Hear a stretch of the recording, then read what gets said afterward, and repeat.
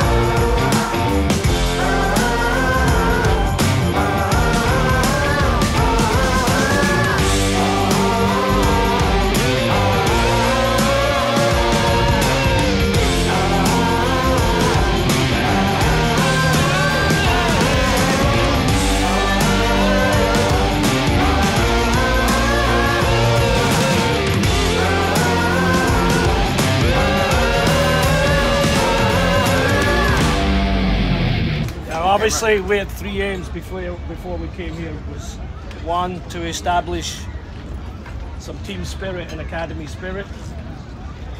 Second thing was to set some standards and expectations, new standards for the IMG soccer program where we're here.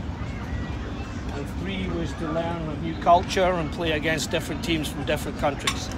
And I think we've achieved all three aims. And that's thanks to basically the attitude that you had, the outstanding work ethic you had, and your winning behaviours that you showed on and off the field.